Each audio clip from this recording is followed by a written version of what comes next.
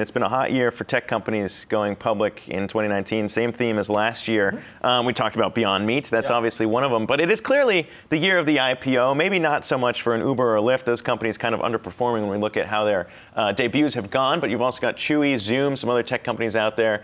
And Freddie, I know your company uh, Okta went public back in 2017, as you mentioned. But your podcast Zero to IPO explains what it actually takes to build a company from the ground up. You were talking to us in the break about how your your first check came from Andreessen Horowitz Right. When they were just starting out. That's right. So I mean, what is it that you're trying to tell entrepreneurs who have kind of gone the same way with this podcast? Yeah, so it turns out that uh, building a company is a lot harder than it seems on television. uh, you know, on television, it's this up and to the right story. Everyone gets to go on the jets and party at all the different places. Sure. Uh, in the early years, it's very hard. No one will return your calls. No one will come and leave Google or Facebook to come join your company.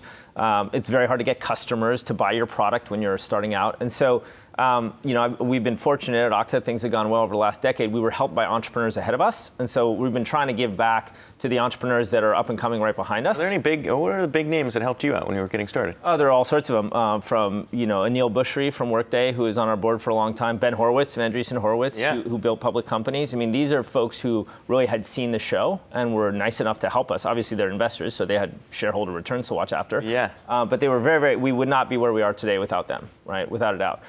But if you think about uh, building a startup company out there, it's pretty lonely. It's a pretty lonely place. You go to these startup mixers, everyone's crushing it all the time except you. Uh, you go home and you're like, I can't hire anyone, I can't get customers, how's this going to work?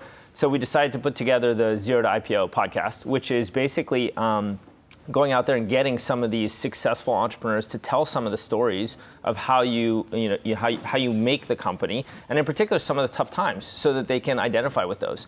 So we had, you know, Ben Horowitz and Neil Bhusri, Patty McCord, who built the Culture Deck and Netflix, Julia Hartz, who built Eventbrite. Talk about what it was like when you're trying to hire the first person, trying to raise that 1st financing. Um, and you know, hopefully it's, it's inspirational and it lets all the other entrepreneurs out there know that it's actually tough times for for everyone. Um, and so hopefully it gives them a little bit of, you know, energy.